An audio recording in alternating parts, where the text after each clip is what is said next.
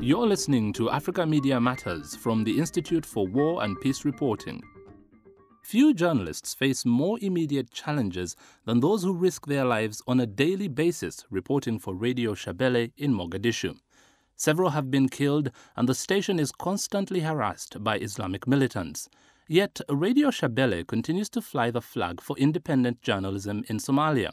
In recognition of its work, the station was recently awarded the Reporters Sans Frontières Press Freedom Prize. The station's Ali Dahir told Africa Media Matters why he and his colleagues persevere despite the dangers. It is very, very hard and sometimes can cost life of colleagues or friends, but uh, obviously it's the service that we believe and we absolutely enjoy doing it. And we also believe we are serving the community by providing the information they require we believe we are saving lives because, as you are aware, Mogadishu was a violent city for the last 20 years. So the area that maybe was safe today, it will not be safe tomorrow. So, for example, uh, we have one program that aware civilians what area needs to be avoided because there was maybe fighting taking place, and what area is safe to go. So we believe we're saving life, Uh, and that's what motivates us and drives us. What kind of feedback do you get from your listeners in Mogadishu and elsewhere in Somalia? We have a huge audience of ordinary men and women, regardless of what town and city and ethnicity they come from. They appreciate the job we're doing for them. When you walk on the street, they shake your hand and thank you for what we do.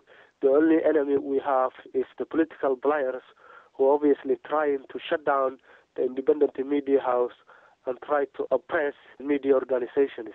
But the feedback we are getting from the people, we sometimes conduct a program that people can call our studio, and it seems to me more than 90% of the calls we are getting indicate that people are very happy with the service we are providing them, and we receive a lot of appreciation and thanks. What is the key reason why they tune into your station? First thing is they know we're not supporting any parties we are obviously independent. Each party, the bad things they do to the community, we broadcast it. The good things they do, we broadcast it. And sometimes we upset some people because we broadcasted and reported the fact, and they may not like it. Do journalists understand that they are taking huge risks when they agree to work with you? Yes, absolutely, they do. And why are they so determined to work for you? I would say two main reasons. One is the journalists who are obviously sacrificing their lives by going on the field and reporting believe, like we do, that they are doing good things for the community. They are promoting peace, stability, human rights, and freedom of speech and information. Second thing is, Shabelle Media Network is one of the established and biggest media organizations in Somalia. A lot of journalists who started their journalism career in Shabelle are today work in big media organizations. So obviously they can see the future and they can see they can develop and gain a lot of skills, experience that might lead a very established career for them. Why are you such a lone voice in Somalia? There was other organizations, but unfortunately, Al Shabaab are recently looted and taken over for those uh, independent radio stations, such as HornAfrik. It was a very big media organization, but unfortunately, Al Shabaab took over and looted all their equipment.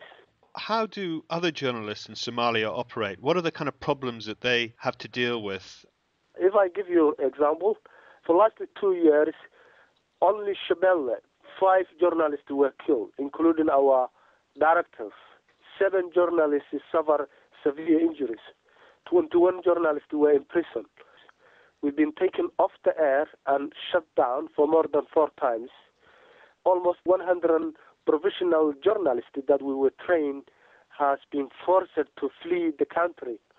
That explains the risks and the difficulties that the Somali journalists are operating.